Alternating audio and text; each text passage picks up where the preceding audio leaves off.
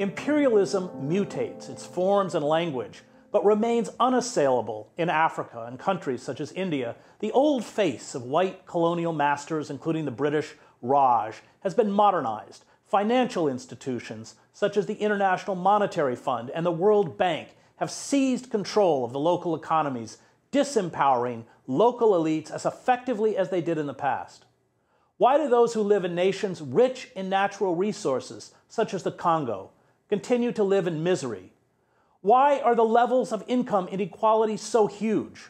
And why is war and violence endemic in many states in Africa? We look at the new iteration of global imperialism with Lee Wengraf, author of Extracting Profit Imperialism, Neoliberalism, and the New Scramble for Africa. So, I want to talk a little bit about how historically we got to this point uh, in Africa. Um, very similar situation to the Middle East in that uh, it was the Berlin Conference, right? Where mm-hmm. uh, in, in, in the case of uh, the Middle East, uh, it was Sykes-Picot, but you have in colonial powers drawing the map. Talk a little bit about how Africa set the historical roots, how it was deformed by colonial powers.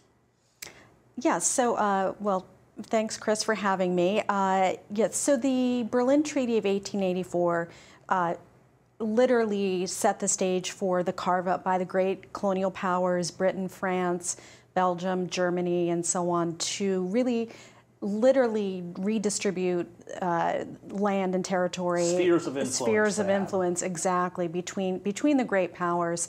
And by the end of the 19th century virtually uh, it's around 90% of, of the continent was colonized and so there was in a very short period of time over the course of decades uh, Africa went from a continent which had emerging nation states, which were beginning to develop their own uh, sort of their own independent trade and economies and so on, really uh, went in a fairly rapid period of time into uh, being subjects uh, under colonial rule. And we should also just back up a little bit historically mm-hmm. because what is it, 10 million, an estimated 10 million Africans had been shipped, captured, kidnapped as slaves.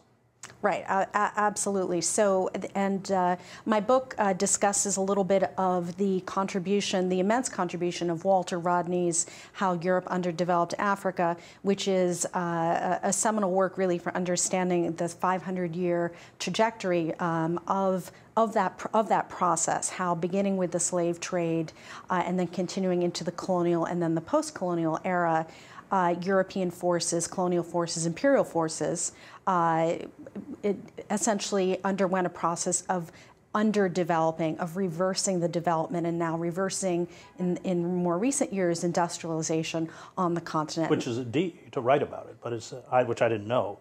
But there's been a deindustrialization of Africa which I wasn't aware of. That's exactly right, and that's one of the uh, one of the goals that I aim to do with the book is to really demonstrate both uh, historically and empirically how that process is unfolded, and really to provide some of the data to show that the recent African boom has been accompanied by a process of deindustrialization and really class polarization, massive well, mirrored, increase of poverty. Mirrored the rest of the world. I mean, create enriching as colonialism did, a kind of uh, native aristocracy that's willing to do the bidding of the colonial powers or our new colonial powers, the World Bank and the IMF. Um, and then there is this, there is no middle class. There is this vast disparity in wealth.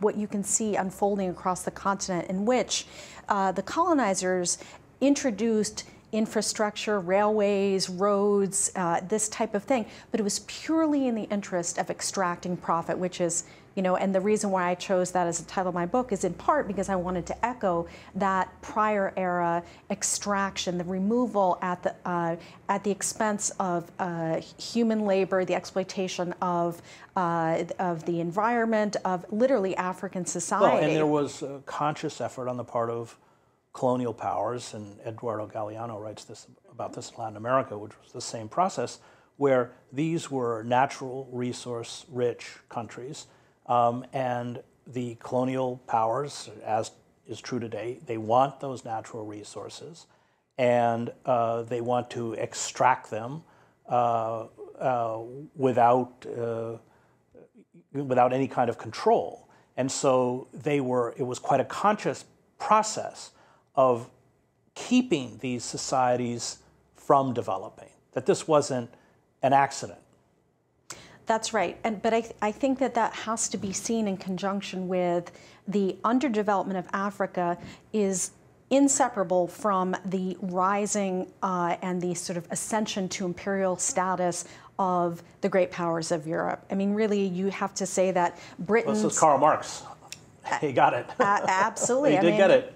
Karl Marx uh, identified it correctly. Uh, Walter Rodney sort of takes that as a jumping off point to do a real kind of deep dive, as we might say today, into what that process looked like. And Rodney, Rodney argues, and I think this is absolutely right, that uh, Britain's rise as the great industrial power of the, uh, in particularly in the 18th and 19th century, would have been impossible without the African slave trade. And then uh, following from that, uh, the uh, the extraction of other resources that continued to happen after the partition, uh, the the the carve up of Africa, gold and rubber and so on, and other natural resources. So it's important to see this as part of a systemic whole, that it's not just the underdevelopment of, of Africa, but really the advancement and the, um, the rise to power of, of, of, the great imperial powers. And again, I think that that process is very much true today. Um, the character of it has changed. Um, and so. Well, let's talk about that.